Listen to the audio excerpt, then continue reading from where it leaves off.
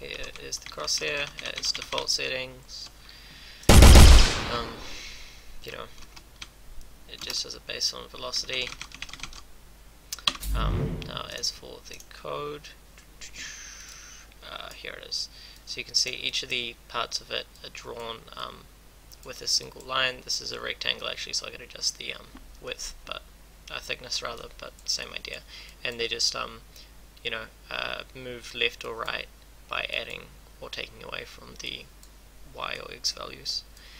Um, there's a gun type modifier, so the idea is different guns will have higher inaccuracy um, compounded by when you're moving. It's a movement accuracy um, modifier, um, and this one here is also bounded, so at the moment it's bounded to 15. If I put that up to 100 1000, it'll essentially be unbounded, so the faster you go, yeah. So um, like you can see when I, when you jump, it um, goes slightly larger. And the smallest is the smallest.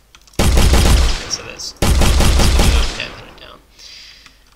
Um, the other thing that you can adjust as you see fit is um,